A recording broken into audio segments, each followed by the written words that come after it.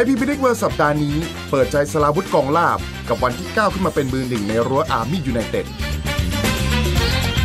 ฟังซึงวานกับภารกิจเพื่อทีมทัพฟ้า Air Force Central FC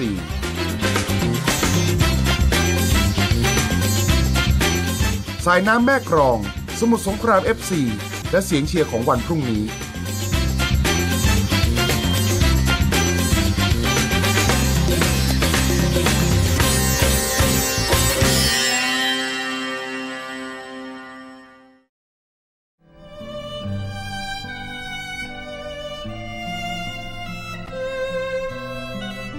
ตลอดชีวิตของนักฟุตบอลบางคน อาจจะใช้เวลานั่งอยู่กับเก้าอี้ข้างสนามมากกว่าการลงเล่นเป็นตัวจริงของเกมการแข่งขัน วินาทีแห่งโอกาสเมื่อเทียบกับชั่วโมงการรอคอยนั้นดูช่างห่างกันแสนไกล โดยเฉพาะตำแหน่งผู้รักษาประตูสลาวุธกองล่าเป็นหนึ่งในผู้รักษาประตูที่ใช้เวลาเกือบทั้งชีวิตกับการอดทนและรอคอย เพื่อพื้นที่ตัวจริงในสนามฟุตบอล จนกระทั่งในฤดูกาล2014 เขาก็ได้รับโอกาสพิสูจน์ฝีมือเป็นครั้งแรกในสีเสื้อของทีมฟุตบอลกองทัพบบกอาร์มี่ยูไนเต็ดสำหรับผู้สาประตูนับนับตั้งแต่ที่เล่นเล่นมา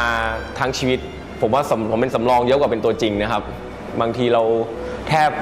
บจะไม่ได้เล่นเลยในในในซีซั่นหนึ่งอะไรเงี้ยผมผมก็ผมก็เคยมาแล้วอะไรเงี้ยครับแต่แต่ก็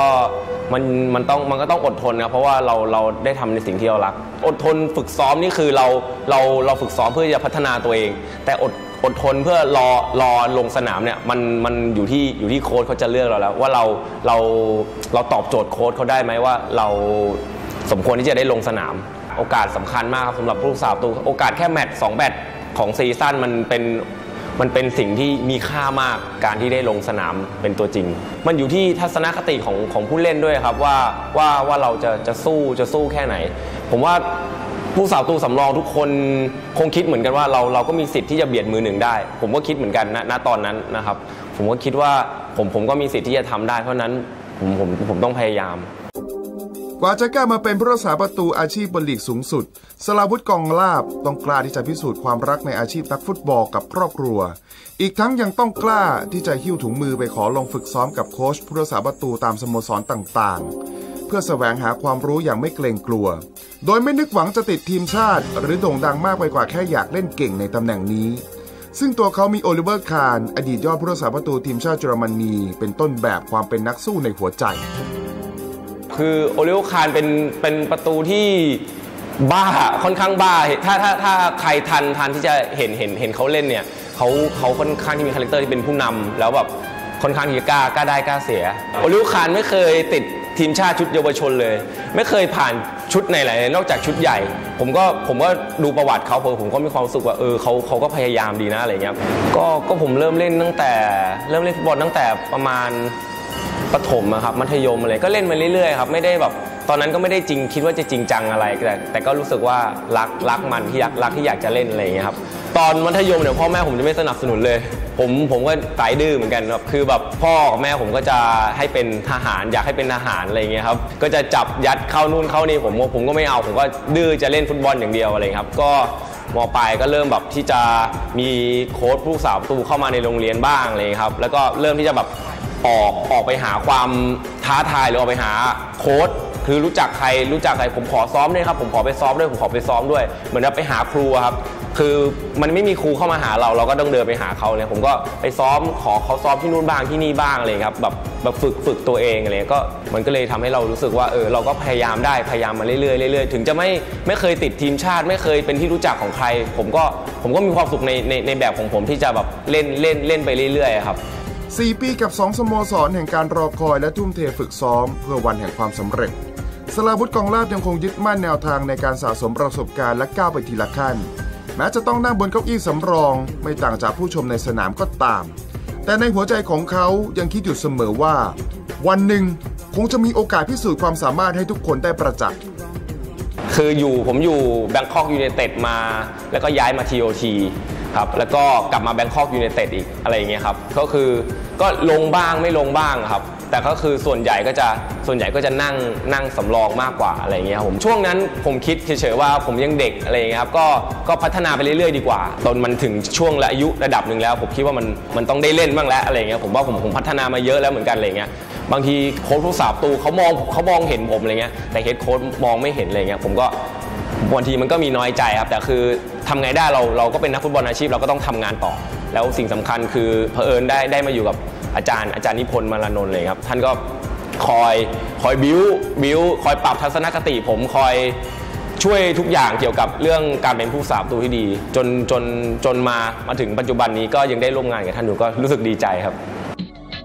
เกมนัดแรกที่เล่นให้กับทีมอาร์มี่ยูไนเต็ดเขาต้องปะทะกับต้นสังกัดเก่าแบงคอกยูไนเต็ด นับเป็นก้าวแรกที่จะตอบคำถามแฟนบอลทุกคนในความสามารถของสราวุธกองลาภ กับตำแหน่งผู้รักษาประตูตัวจริง ต้องขอบคุณโอกาสทางอาร์มี่ยูไนเต็ดมากคือช่วงช่วงต้นปีที่ผ่านมาก่อนที่ผมจะมาอยู่ที่เนี่ย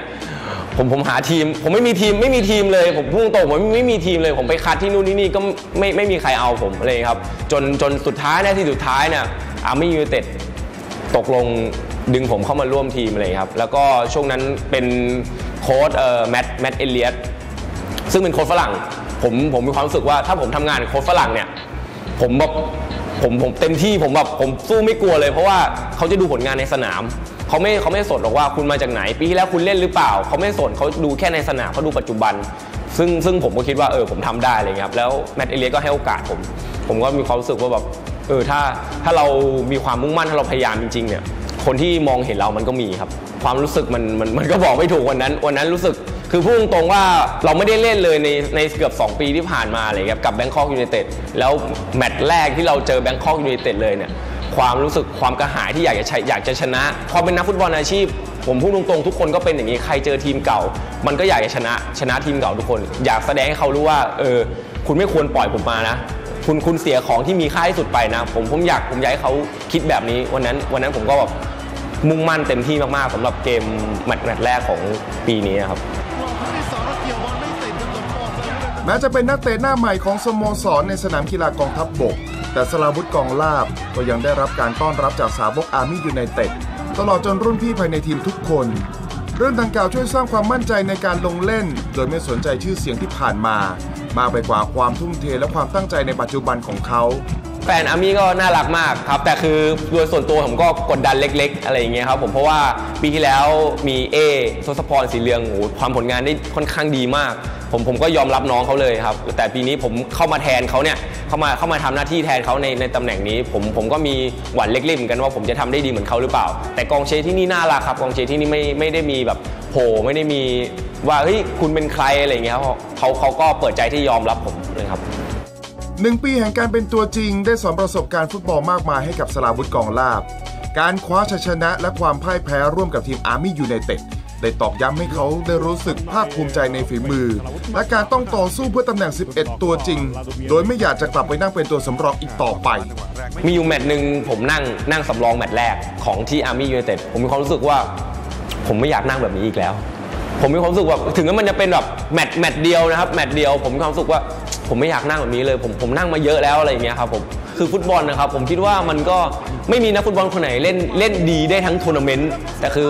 สิ่งที่สำคัญคือมาตรฐานที่เราต้องรักษาไว้ คือเราเป็นผู้รักษาประตู ผมว่า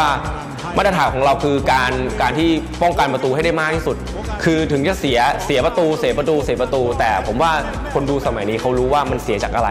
คือถ้าเราเรารักษามาตรฐานตัวเองเราไม่พลาด ครับผมว่าคนดูหรือโค้ชก็มองออกว่าเฮ้ยมาตรฐานคุณยังดีอยู่นะ อะไรถึงเราจะเสียประตูเยอะอะไรอย่างเงี้ยครับเนี่ยครับผมสิ่งสำคัญผมว่ามันอยู่ที่มาตรฐานเรามากกว่า มันก็ต้องมีสิ่งที่ผมต้องพัฒนาต่ออะไรอย่างเงี้ยครับไม่ว่าจะเป็นเรื่องเรื่องการออกบอลเรื่องการตัดบอลเลยครับไม่ว่าจะเป็นเรื่องการสั่งเกมทุกอย่างผมต้องพัฒนาขึ้นให้มันให้มันดีกว่าเดิมในปีต่อไปเองครับตอนนี้ก็พอใจในระดับหนึ่งที่ว่าสามารถยึดตำแหน่งตัวจริงได้อะไรเงี้ยครับต้นทุนผมผมได้ได้มาแล้วต้นทุนผมคือผมได้ขึ้นมายืนตรงนี้แล้ว ต่อไปในชีวิตผมคิดว่ามันเป็นกำไรในชีวิตผมแล้วครับคืออยากจะพัฒนาตัวเองให้มันไปได้มากกว่านี้มากกว่านี้ ผมไม่สนว่าใครจะมองผมยังไงหรือ ผมก็ ธรรมดาคนหนึงเออผมก็ไม่สนใจ ผมก็คิดว่าผมก็ทำหน้าที่ของผมไป นี่คืออาชีพของผมอะไรเงี้ยครับนามสกุลกองลาบถูกเลือกติดบนหลังเสื้อ เพื่อแทนสัญลักษณ์ความภูมิใจของวงตระกูล ได้ตอบความหมายในปีแห่งความสำเร็จ กับการลงเล่นเป็นตัวจริงในไทยพรีเมียร์ลีกครั้งแรกของสลาวุธกองลาบผู้รักษาประตูหมายเลขหนึ่งแห่งสโมสรอาร์มี่ยูไนเต็ด